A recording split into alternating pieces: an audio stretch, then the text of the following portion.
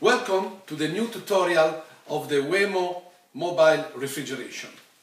Today I would like to show you the new refrigerators in direct current 12 24 volts WL91. I want to show you just give you a small illustration of what we are uh, introducing you is the Wemo WL91 capacity is of 99 liter. Powered with the Secop compressor BD 35K supplied with the natural gas R600A that is replacing the old natural gas R134A. The consu consumption is of 70 watt.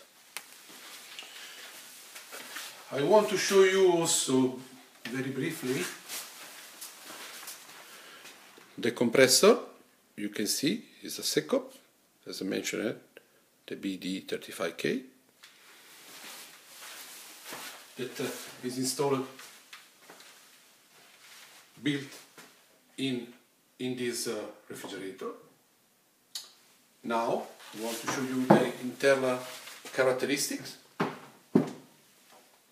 It's a 91 capacity. There is a, a thermostat that you can fix here. There is an internal light. Nice place to store bottles, vegetable, and other kind of food is very well insulated.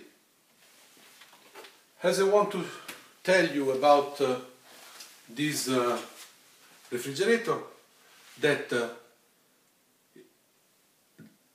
the compressor is powered with a battery. The battery is charged with the solar panel. Normally is a solar panel of 100-120 watt.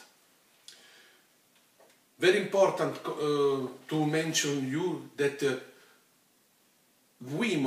is uh, always very, very uh, interested to supply to the customer the right product with advanced uh, technique, uh, advanced in evolution, advanced ideas. That's why we want to advise you that we have the right product for your needs. Thank you for the attention and see you at the next video.